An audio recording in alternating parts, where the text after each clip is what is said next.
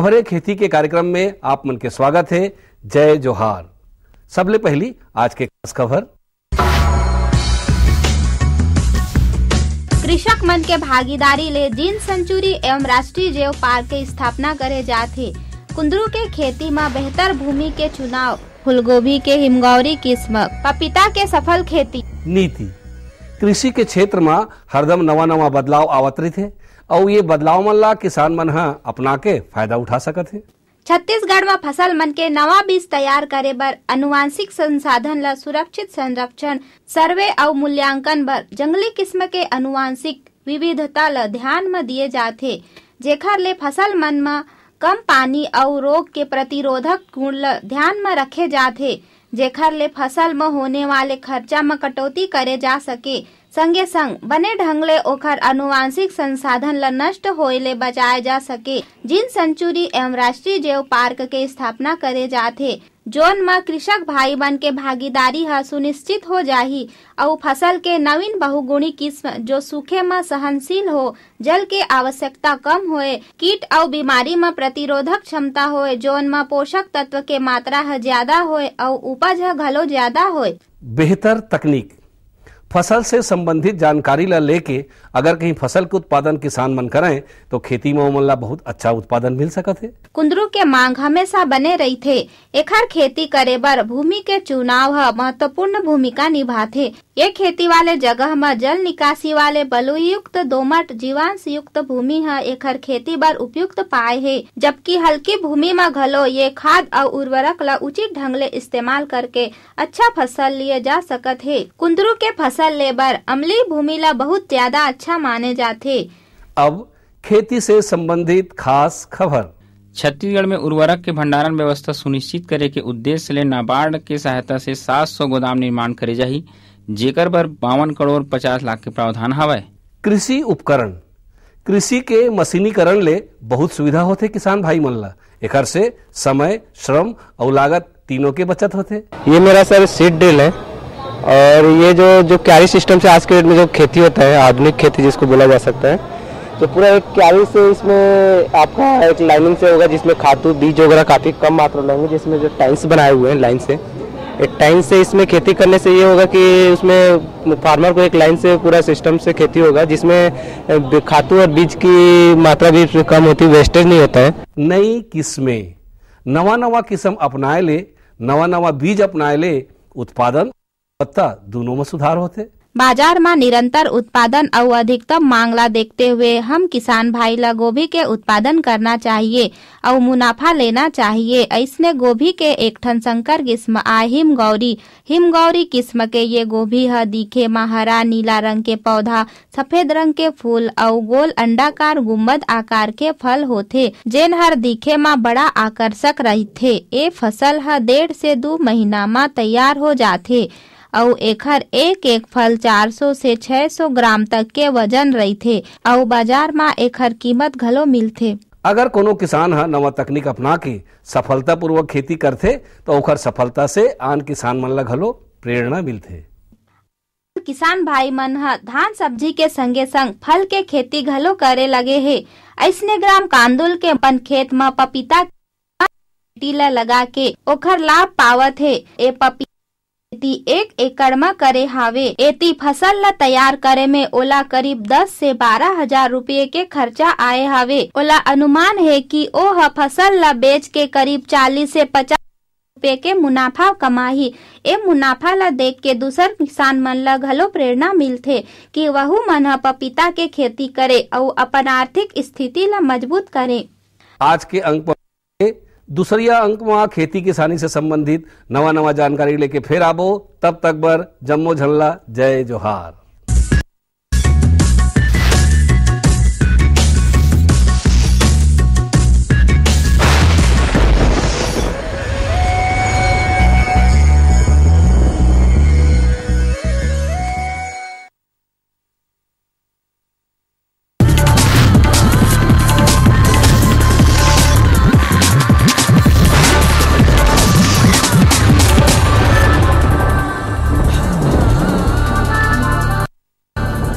नमस्कार। मंडी भाव में आप मन के स्वागत है। देखबो, हमारे प्रदेश के अलग अलग जगह के मंडी मन में धान, फल और सब्ज़ी मन के का भाव है? आज तखतपुर कृषि उपज मंडी के न्यूनतम भाव एक हज़ार अस्सी रूपया और अधिकतम एक हज़ार चार सौ पचपन रूपया प्रति क्विंटल। आज कोटा कृषि उपज मंडी में धान के न्यूनतम भाव एक हज़ार एक सौ तेरह रूपया और अधिकतम तीन सौ अठारह रूपया प्रति क्विंटल। आज लोरमी कृषि उपज मंडी धान के न्यूनतम भाव एक हज़ार पचहत्तर रूपया और अधिकतम एक हज़ार सात सौ दस रूपया प्रति क्विंटल। आज जयराम नगर कृषि उपज मंडी में धान के न्यूनतम भाव एक हज़ार एक सौ अठारह रूपया अधिकतम एक हज़ार छह सौ पैंसठ रूपया प्रति क्विंटल। आज रायपुर के सब्ज़ी मंडी में आलू के बने आवक देखे गए हे।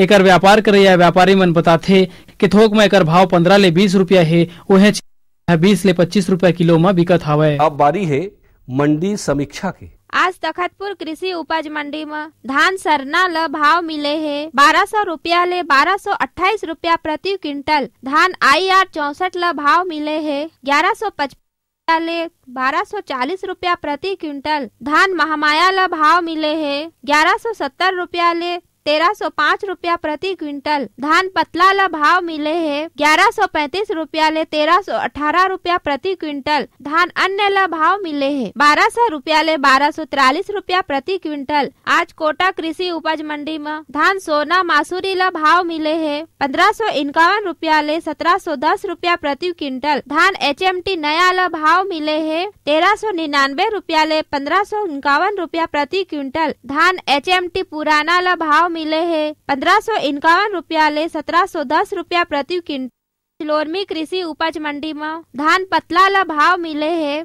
एक हज़ार एक सौ बीस रूपया ले चौदह सौ चालीस रूपया प्रति क्विंटल। धान अन्य ला भाव मिले है। एक हज़ार निन्यानवे रूपया ले तेरह सौ रूपया प्रति क्विंटल। धान सरना ला भाव मिले है। बारह सौ रूपया ले तेरह सौ अट्ठाईस रूपया प्रति क्विंटल।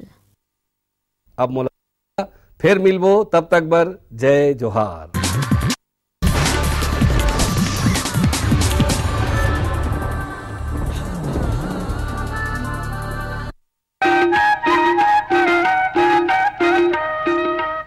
ये लो। और बताओ बस। अरे ये क्या भैया जी? बस इतनी सी रासायनिक खाद। किसानी छोड़ रहे हो क्या? किसानी नहीं नादानी छोड़ रहे हैं। मिट्टी की जाँच कराई है। अब तो लाला जी जितनी ज़रूरत है उतने ही उर्वरक खेत में डालेंगे हाँ। किसान भाई आज ही अपने ज़िले की नजदीकी भूमि परीक्षण प्रयोगशाला में मिट्टी की जाँच ज़रूर करवाएँ और मिट्टी में पोषक तत्व, नमी व पौधे के विकास को देखते हुए केवल ज़रूरत के अनुसार ही पोषक तत्व डालें। और हाँ मिट्टी में गंधक, जस्ता बोरोन जैसे सूक्ष्म पोषक तत्वों का पता लगाना भी न भूलें। उर्वरक और जैविक खाद के सही उपयोग से भूमि का उपजाऊपन बनाए रखें उत्पादकता बढ़ाएँ, खर्चा घटाएँ और बहुमूल्य विदेशी मुद्रा बचाने में भी सहयोग दें। और हाँ धीमी गति से नाइट्रोजन उपलब्ध कराने वाले उर्वरकों जैसे नीम लेपित यूरिया को प्राथमिकता दें और यूरिया का पत्तों पर छिड़काव करें। अरे वाह तू तो सचमुच समझदार हो गया रे। अधिक जानकारी के लिए संपर्क करें। जिला कृषि अधिकारी या किसान कॉल सेंटर अम्मा खाना दे दो ना। सबर कर गोलू। अभी दाल नहीं गली है। तू फ़िक्र न कर गोलू की अम्मा। अब की बार अपनी दाल खूब गलेगी। क्या मतलब जी? अब की बार एनएफएसएम के तहत दाल की पैदावार को बढ़ाने के तरीकों को दिखाने के लिए देश में एक हज़ार क्षेत्र चुने गए हैं जिसमें हमारा इलाका भी आ गया है। पर इससे हमें क्या फ़ायदा? हमें पाँच एकड़ खेती के लिए खाद और कीटनाशक के अलावा बढ़िया बीजों की एक मिनी किट भी मिलेगी। इतनी दाल का करेंगे क्या जी? अरे भगवान सरकार ने दलहन का समर्थन मूल्य भी खूब बढ़ा दिया है और इनकी खरीद का भी पूरा इंतज़ाम कर लिया है। इससे आमदनी बढ़ेगी और फिर हमारा गोलू अच्छे स्कूल में जाकर के कृषि वैज्ञानिक बनेगा हाँ। क्या करूँ? हाँ हाँ मैं ऐसे ही करूँगा हाँ। अच्छा मैं जा रहा हूँ। अच्छा जी जी जी हाँ। जी जी जी। किससे बात कर रहे थे इतना हंस हंस कर किसान कॉल सेंटर। विशेषज्ञ से खेती के बारे में सलाह ले रहा था। सुबह भी रात को भी? किसान कॉल सेंटर सुबह छह बजे से रात को दस बजे तक खुलता है। रविवार को भी? हाँ भाई साल के तीन सौ पैंसठ दिन खुलता है। और इतना फ़ोन का बिल कौन भरेगा? अरे किसान कॉल सेंटर की सेवा मुफ़्त है। पर तुम ये सब क्यों पूछ रही हो? मैं तो कुछ और ही समझी थी। किसान भाई कृषि संबंधी समस्याओं का अपनी भाषा में तुरंत समाधान पाने के लिए पूरे भारत में किसी भी फ़ोन से राष्ट्रीय हेल्पलाइन नंबर एक आठ शून्य शून्य एक आठ शून्य एक पाँच पाँच एक पर संपर्क करें। किसानों का दोस्त किसान कॉल सेंटर। गाँव गाँव और शहर शहर में बात चली। राष्ट्रीय बागवानी मिशन की लहर चली। आसान हुआ फूल मसाले उगाना नर्सरी लगाना और जैविक खेती अपनाना। अब हुआ तकनीकी प्रशिक्षण पाना आसान। विपणन के लिए भी है सहायता के प्रावधान। अधिक जानकारी के लिए जिला बागवानी अधिकारी या राज्य बागवानी निदेशक से संपर्क करें। राष्ट्रीय बागवानी मिशन जीवन संवारे खुशियाँ फैलाए। कृषि दर्शन देखने वाले सभी किसान भाइयों को प्यार भरा नमस्कार। किसान भाई, हम इस कार्यक्रम में आपको कृषि संबंधित, आधुनिक एवं उन्नत खेती की जानकारी से अवगत कराते रहते हैं। आज के इस कार्यक्रम में हम आपको टमाटर की वैज्ञानिक एवं उन्नत खेती की जानकारी देंगे। तो टमाटर की वैज्ञानिक एवं उन्नत खेती कैसे की जाती है, आइए इसकी जानकारी लेते हैं। छत्तीसगढ़ की आबो हवा के मुताबिक यहाँ टमाटर की भरपूर खेती ली जा सकती है मल्चिंग विधि अपनाकर हम टमाटर की अच्छी पैदावार ले सकते हैं। टमाटर की खेती विभिन्न प्रकार की भूमियों में की जा सकती है, लेकिन उचित जल निकास वाली दोमट भूमि इसकी खेती के लिए अच्छी कही जा सकती है। अगेती फ़सल के लिए हल्की भूमि अच्छी होती है। इसकी खेती के लिए 6 से 7 पीएच मान वाली भूमि बेहतर मानी जा सकती है। यदि भूमि का पीएच मान 5 से कम हो तो मिट्टी में चूना मिलाकर इसकी खेती करनी चाहिए। मल्चिंग विधि से टमाटर की खेती की जाए तो बहुत ही अच्छा परिणाम सामने आता है। अधिक पैदावार के साथ ही साथ, जल और खाद प्रबंधन में आसानी के लिए खेती की मल्चिंग विधि का प्रयोग किया जाता है। मल्चिंग विधि से टमाटर की खेती करने के लिए प्रक्षेत्र में सबसे पहले मांदा निर्माण का काम किया जाना चाहिए। मांदा निर्माण के लाभ के विषय में हम अपने कृषक बंधुओं को कई बार बता चुके हैं। मांदा निर्माण में भुरभुरी मिट्टी की उभरी हुई कतारें तैयार की जाती हैं और इन उठे हुए कतारों की चोटी में पौधों का रोपण किया जाता है। मांदा निर्माण में काम आने वाली भुरभुरी मिट्टी में खाद और उर्वरक को भली भांति मात्रा में मिलाकर देना चाहिए। जल प्रबंधन और खाद प्रबंधन के बाद पॉलीथीन की पतली शीट या झिल्ली मांदा पर बिछा दी जाती है। ये पॉलीथीन मांदाओं के ऊपर ही होनी चाहिए, जिसमें कि हमें फ़सल लेनी है। मांदाओं के बीच की खाली जगह को खुला छोड़ना चाहिए, जिस पर से होकर कृषक बंधु अपनी फ़सल का मुआयना करता है। मल्चिंग विधि से उर्वरक और खाद की बचत भी होती है, साथ ही जल प्रबंधन भी आसान हो जाता है और निगरानी करने में भी सहूलियत होती है। इसी समय ड्रिप इरिगेशन या सिंचाई की टपक पद्धति के लिए पाइपलाइन बिछा लेनी चाहिए। मल्चिंग विधि से प्रक्षेत्र के ऊपर पॉलीथीन की चादर बिछाई जाती है और आवश्यकता अनुसार उसमें छिद्र बना ली जाती है। पॉलीथीन की इन छिद्रों में किसान बीजों रोपण कर सकता है, पौधों की रोपणी लगा सकता है। पॉलीथीन की वजह से प्रक्षेत्र के उन स्थानों में जहाँ से फ़सल लेनी होती है, नमी बनी रहती है, क्योंकि इस स्थान में जल का वाष्पीकरण नहीं हो पाता है। छत्तीसगढ़ की जलवायु थोड़ी उष्ण है और टमाटर को भी जरा गर्म जलवायु की ज़रूरत होती है। वैसे तो टमाटर की अनेकों प्रजाति हैं मगर खाने और उपजाने के योग्य दो ही प्रजातियाँ हैं। लाइकोपर्सिकन एस्कुलेंटम और लाइकोपर्सिकन पिंपनेफोलियम, जिसमें लाइकोपर्सिकन पिंपनेफोलियम टमाटर की छोटे फल वाली प्रजाति होती है, जिन्हें अमूमन गृह वाटिकाओं में ही उगाया जाता है। वृद्धि करने की प्रकृति के आधार पर भी टमाटर को दो प्रमुख वर्गों में विभक्त किया जा सकता है।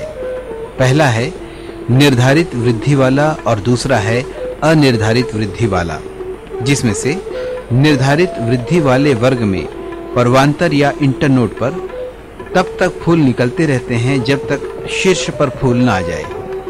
इस समय पौधों का लंबाई बढ़ना रुक जाता है। एच एस एक सौ दो, स्विट बहत्तर, पूसा गौरव पंजाब केसरी, पूसा, अर्ली डुवार्फ वगैरह इस वर्ग के अच्छे उदाहरण हैं। अनिर्धारित वृद्धि वाले वर्ग के मुख्य अक्ष निरंतर वृद्धि करते रहते हैं और प्रत्येक तीसरी परवांतर या इंटरनोट पर पुष्पक्रम उत्पन्न होते रहते हैं। पूसा रूबी सिलेक्शन 120 पंत बहार, पंत टाइप एक और तीन ये किस्में इस वर्ग के अंतर्गत आती हैं। दो तीन बार करके पुलाव है कल्टीवेटर है हीरो है, ऐसा करके उसको मांदा बनाए। मांदा बनाने के बाद गोबर डाले, गोबर खाद डाले, सुपर डाले डीएपी डाले, उसके बाद मांदा और डबल किए। डबल करने के बाद जहाँ जहाँ अपने को ड्रिप में जिस एक एक फीट में लगाना है, आजकल तो क्या है मल्चिंग सिस्टम हो गया है तो क्या है ड्रिपर के पास झाड़ लगाने के बाद उसमें पानी आधा घंटा से एक घंटा पानी दे देते हैं। लगने के बाद कम से कम पंद्रह दिन बीस दिन के बाद देखते हैं नाइट्रोजन यूरिया का हिसाब से या आधा किलो एक किलो के हिसाब से उसको भी दे देते हैं। टमाटर की खेती में जल प्रबंधन का भी बड़ा महत्व होता है। सिंचाई कब और कैसे की जानी चाहिए आइए इसकी जानकारी लेते हैं। मल्चिंग विधि से खेती करने पर सिंचाई के लिए जल की कम ही आवश्यकता पड़ती है। मल्चिंग विधि से खेती करने के लिए सिंचाई की टपक पद्धति को ही इस्तेमाल में लाया जाता है। मल्चिंग विधि से खरपतवारों के उग आने की संभावना भी कम हो जाती है। मांदा के ऊपर बिछी इस पॉलीथीन पर फ़सल के मुताबिक निर्धारित दूरी पर छोटे छोटे छेद कर दिए जाते हैं। मांदा के ऊपर ये छेद वही होते हैं जहाँ नीचे सिंचाई की टपक पद्धति वाले नालियों में छिद्र होता है। जैसा कि टमाटर उत्पादक हर किसान भाइयों को यह जानना चाहिए कि टमाटर की खेती में सिंचाई का विशेष महत्व है। इसमें अधिक और कम सिंचाई दोनों ही हानिकारक सिद्ध हो सकते हैं। इसलिए सिंचाई मौसम के आधार पर इस तरह करनी चाहिए कि प्रक्षेत्र में पर्याप्त नमी बनी ही रहे। सामान्यतः गर्मी में प्रति सप्ताह और जाड़े में पंद्रह दिनों के अंतराल में सिंचाई करना चाहिए। ड्रिप और ड्रिप पानी और पल्लो पानी में बहुत से अंतर है। ड्रिप पानी में क्या है, अपन जितना ज़रूरत है, आधा घंटा, कैसे दस मिनट, दो मिनट, जैसे भी अपन हिसाब से चलाना है, लेकिन पल्लो पानी है का है? पानी वेस्टेज जाही न ओकर निकासी रहे न ओकर रोकथाम नहीं होए। तो नाम से का ड्रिप पद्धति है, हमार किसान भाई मन के लिए बहुत ही उपयोगी होते और ओमा हमार पर्याप्त खेती बाड़ी होते पर्याप्त मात्रा में खातू वही के साथ में चल जाते तो ये है वो अपन ड्रिप पद्धति है, बहुत है अच्छा ही है। और ओमा अपन किसान भाई ला कुछ कमाई भी करथन ओमा फ़ायदा भी होते नुकसान नहीं होए। टमाटर की खेती में खाद प्रबंधन का भी बड़ा महत्व होता है। कौन सी खाद कब और कितने मात्रा में दी जानी चाहिए आइए इसकी जानकारी लेते हैं। टमाटर की अधिक पैदावार लेने के लिए पोषक तत्वों की उचित मात्रा का ठीक प्रकार से देना अति आवश्यक है। किसी खेत विशेष के लिए खाद और उर्वरक की सही मात्रा का पता लगाने के लिए मृदा जाँच अनिवार्य होता है। यदि मृदा की जाँच न हो सके तो उस स्थिति में प्रति hectare nitrogen 100 kilogram, phosphorus 60 kilogram और पोटाश 60 किलोग्राम की आवश्यकता होती है। नाइट्रोजन की आधी मात्रा, फास्फोरस और पोटाश की पूरी मात्रा का मिश्रण बनाकर, रुपाई से पहले 8 से 10 सेंटीमीटर गहरे कूढ़ों या फरों में डालना चाहिए। नाइट्रोजन की शेष मात्रा को दो बराबर भागों में बांटकर, एक भाग रोपाई के 25 से 30 दिन के बाद और दूसरा भाग फूल निकलने के समय उपरिवेशन या टॉप ड्रेसिंग के रूप में डालना चाहिए। टमाटर जल्दी जल्दी और उथली निदाई गुड़ाई चाहने वाली फ़सल है। इसलिए प्रत्येक सिंचाई के बाद जब भूमि निदाई गुड़ाई की योग्य हो जाए तो उसमें हैंड हो चलाना चाहिए। गहरी गुड़ाई न करें, अन्यथा जड़ों के कटने का भय रहता है, क्योंकि टमाटर एक उथली जड़ वाली फ़सल होती है। टमाटर की फ़सल के लिए खरपतवारों की रोकथाम भी ज़रूरी है, इसके लिए भी मल्चिंग विधि कारगर पाई गई है। किसान भाई हो, मैं हत टमाटर के खेती करे हूँ। सबसे शुरू का ये वाला हम गोबर खादू दे को गोबर के साथ सुपर डाले हन। फिर डीएपी डाले हन। डीएपी डाले के बाद पोटाश डाल के वो मादा खींच देन। मादा खींचे के बाद जैसे पंद्रह दिन में फिर लोग देख के मेरे अपन चढ़ाना है तो फिर डीएपी एकड़ पीछे दो बोरी, पोटाश एक बोरी, ऐसे करके ला मादा खींच देन। मादा खींचे के बाद जैसे लगी फूल आए के चालू होइस, फूल आए के फल आए के चालू होइस, फिर देख के बोला, अपन रासायनिक खाद वाला आते, उन्नीस उन्नीस करके आते, बारह इकसठ सुपर आते, मैग्नीशियम, कैल्शियम, नाइट्रेट आथे ये सब ला अपन है एकड़ हिसाब से एक किलो के हिसाब से आधा किलो के हिसाब से चलाथन। किसान भाइयों टमाटर की खेती में कुछ रोग लगने की भी संभावनाएँ होती हैं। ये रोग क्या हैं और इनसे कैसे बचें? आइए इसकी जानकारी लेते हैं। टमाटर के पौधों को नुकसान पहुँचाने वाले कीटों में जो कीट प्रमुख है उसकी चर्चा यहाँ की जानी चाहिए। वो कीट हैं तंबाकू की सुंडी फल छेदक कीट के लार्वा, इपीलैचला बीटल, कटुआ कीट जैनसिड्स इन कीटों से बचने के लिए हमारे कृषि विशेषज्ञों ने कई उपाय सुझाए हैं, जिसका पालन किया जाना चाहिए। टमाटर की फ़सल में नज़र आने वाले प्रमुख रोग इस प्रकार से हैं। आद्र विगलन पर्णकुंचन, अगेता झुलसा रोग, बैक्टीरियल विल्ट गुच्छा मुच्छा रोग पिछेता झुलसा रोग जड़ गांठ सूत्रकृमि रोग और बक आई रॉड रोग वगैरह। इन रोगों के लिए टमाटर उत्पादक किसानों को सचेत रहने की आवश्यकता होती है और कृषि विशेषज्ञों और वैज्ञानिकों के द्वारा सिफारिश की गई दवाओं और उपायों का प्रयोग किया जाना चाहिए। किसान भाई हो, एमा रोग राई लगते एमा काहे थ्रिप्स मैन मैन आथे सर प्रकार के बीमारी आथे ब्लाइट लग जाथे पत्ता नीचे जलन हो जाथे, फल मन में दागी आ जाथे। एक लिए बहुत से दवाई आ गए है। लिप माइनर के लिए है, वल्टी में करके चलाथन, पाउडरी के लिए न्यू स्टार करके आथे, ओला चला लेथन। तो पत्ता सुलझा के लिए एम पैंतालीस एक कवच है, ये सब पाउडर अपन चला के कर रोकथाम करथन।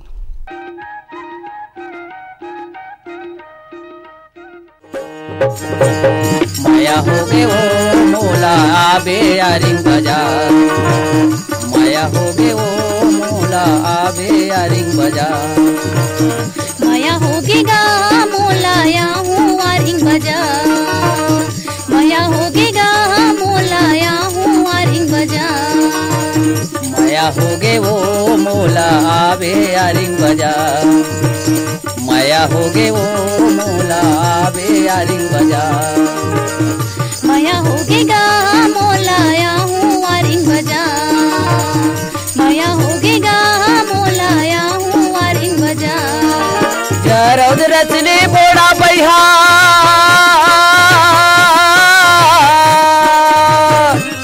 जरौद रचने बोड़ा बैहार घुमता बेखार खा। घुमता बेखार खा। माया होगेगा मोलाया हूँ वारिंग माया होगेगा मोलाया हूँ वारिंग